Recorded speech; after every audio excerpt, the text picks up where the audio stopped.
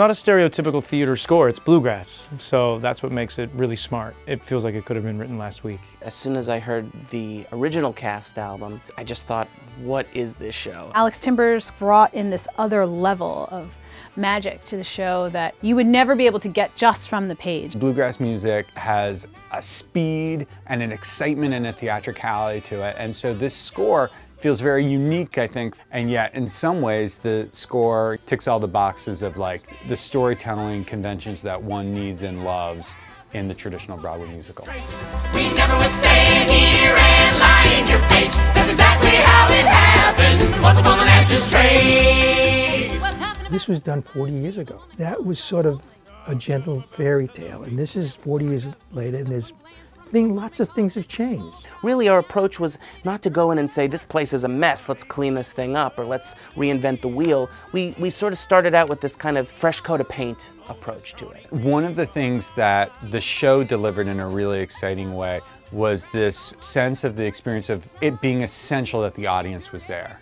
And I think that what the album producers did so well was preserve that sense on the album of what it is like to hear and feel the show live.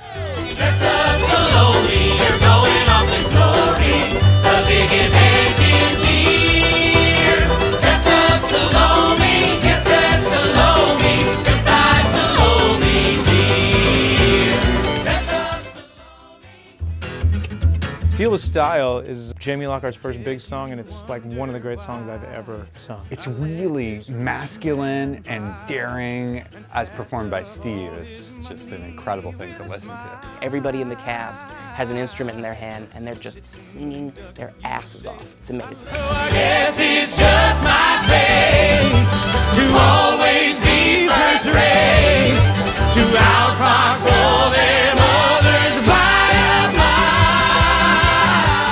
Every time it feels like a rock concert and we're just his backup singers and I feel like I'm in a music video. I love it so much. It could be a pop sensation, that's how good it is. It's like a real sort of rock star moment. Is you, I guarantee to you I'll steal with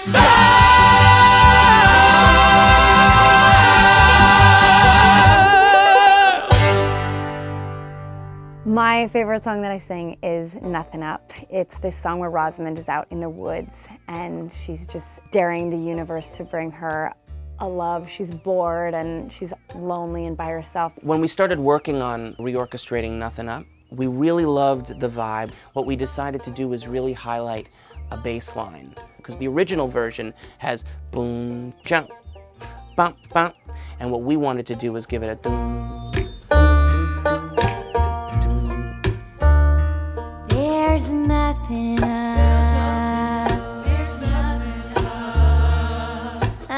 Another damn day of nothing up. I'm tight in my skin and hot in my clothes, and Lord God knows it's 'cause there's nothing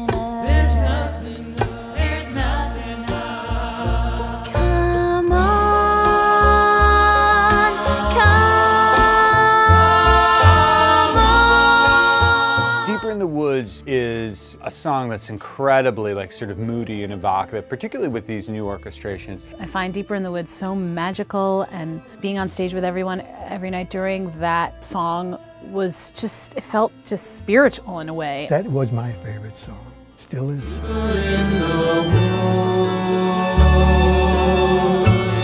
All the music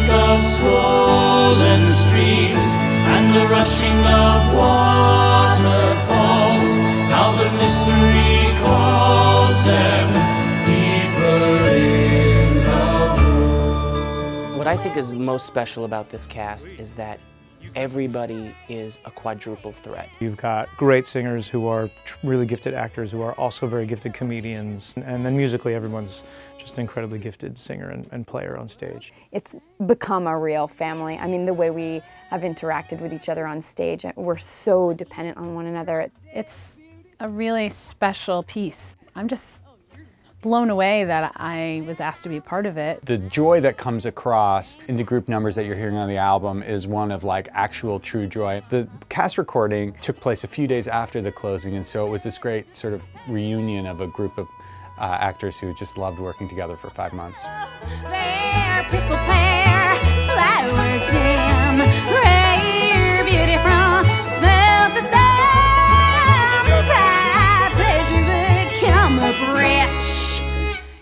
Wasn't for that lily bitch.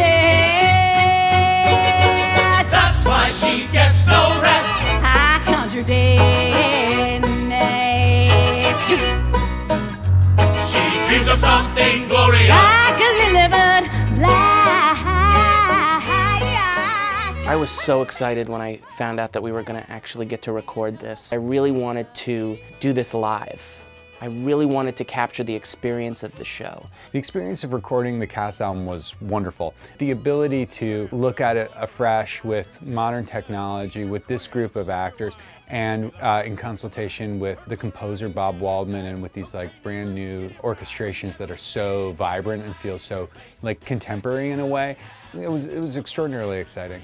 This will be the version that lives on forever and ever, and I think it'll see a resurgence based on this album, and people will fall in love with it uh, all over again or for the first time. And then hopefully people that will buy it and listen to it can feel like they were part of something special, which, you know, we're doing it for them. I'm very proud of it.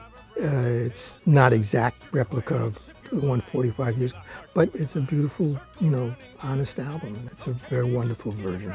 We never stand here and lie in your face. That's exactly how it happened. Once upon